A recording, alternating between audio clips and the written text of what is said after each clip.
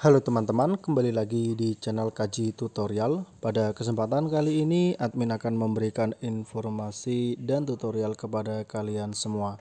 Informasi di sini yaitu penyebab kenapa HP Android kita cepat panas dan cara mengatasinya. Sebelum admin memberikan informasi dan tutorial ini, silakan kalian klik tombol subscribe terlebih dahulu agar supaya channel ini bisa berkembang dan bisa memberikan informasi dan tutorial kepada kalian semua. Langsung saja kita menuju ke tutorialnya. Penyebab kenapa HP Android kita cepat panas dan cara mengatasinya. Baik teman-teman, penyebab HP Android kita cepat panas dikarenakan kemungkinan eh, hardware yang ada di HP kita masing-masing atau spesifikasi HP yang kita gunakan sudah lama. Itu salah satunya. Dan yang kedua, suhu udara atau suhu yang berada di lingkungan kalian itu juga panas. Dan kemudian penyebab ketiga itu dikarenakan kalian menggunakan handphone dengan mengecas atau mencargernya ya.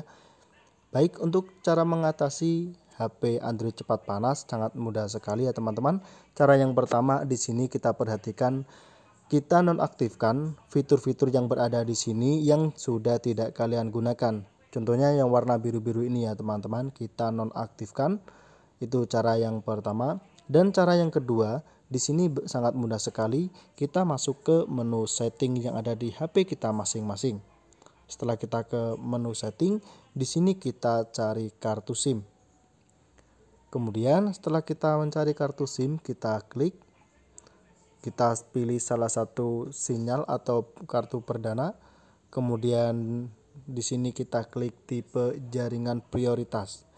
Bagi kalian yang berada di pedalaman atau tidak berada di kota yang mana kalian kesusahan untuk mencari sinyal 4G maupun 5G, silahkan kalian pindah ke prioritas 3G maupun 2G saja. Oke, itu cara yang kedua. Dan cara yang ketiga, teman-teman, di sini kemungkinan besar sampah yang kalian miliki sangat banyak sekali. Di sini kita masuk ke keamanan terlebih dahulu. Kemudian di sini perhatikan teman-teman. Silakan kalian sering-sering bersihkan, pindai keamanan, meningkatkan kecepatan, dan bersihkan lanjutan, kemudian kelola aplikasi. Dan kemudian cara yang keempat, perhatikan teman-teman, jika kalian memiliki aplikasi yang perlu diupdate, silakan kalian update ya. Karena ini juga penyebab salah satu HP Android kalian cepat panas. Kemudian cara yang kelima silakan kalian copot saja casing yang kalian gunakan atau soft case HP yang kalian gunakan. Kemudian cara yang keenam silahkan kalian berhenti terlebih dahulu saat menggunakan handphone. Semoga tutorial ini bisa bermanfaat untuk kalian semua. Tentunya jangan lupa like, comment, dan subscribe.